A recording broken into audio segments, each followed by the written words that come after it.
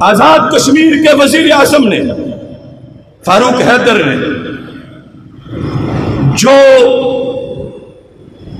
آواز بلند کی کہ پی ٹی وی پر وہ جملے روک دیے گئے۔ میں سمجھتا ہوں، وہ اس بندے کا درد دل تھا کہ تم کہتے ہو کہ اگر آزاد کشمیر پہ حملہ ہوا تو ہم اینٹ کا جواب پتھر سے دیں گے۔ میں نے اپنی پانچ چھ پریس کانفرنسوں میں اس بات کو دہرایا اور وہی پھر وزیر اعظم آزاد کشمیر نے کہی۔ اس کا مطلب تو یہ بنتا ہے کہ کشمیر مقبوضہ وادی میں جو چاہو کر لو، وہ تو ہے ہی تمہارا۔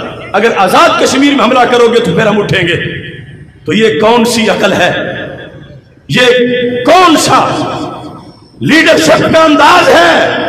وہ قبضہ کر کے بیٹھے ہیں مسلمانوں کے دیش پر۔ اور تم ایک نیا رستہ ان کو دکھاتے ہو، اگر اس طرف آئے ہوئے تو پھر دیکھنا ہم کیا کرتے ہیں۔ یہ سوائے بزدلی کے اور کچھ نہیں۔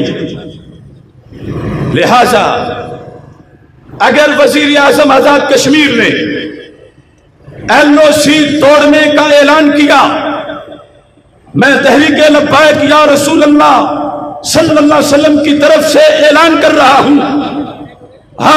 آزاد کشمیر کے وزیر اعظم کہ اس اعلان کی جس میں وہ ایل او سی توڑنے کی ڈیڈ لائن دیں گے یا ڈیٹ دیں گے ہم ان کی بھرپور حمایت کریں گے۔ انشاءاللہ لبیک لبیک لبیک یا رسول اللہ لبیک لبیک۔ لبيك يا رسول الله لبيك لبيك لبيك يا رسول لبيك يا رسول الله لبيك لبيك لبيك يا رسول الله لبيك لبيك لبيك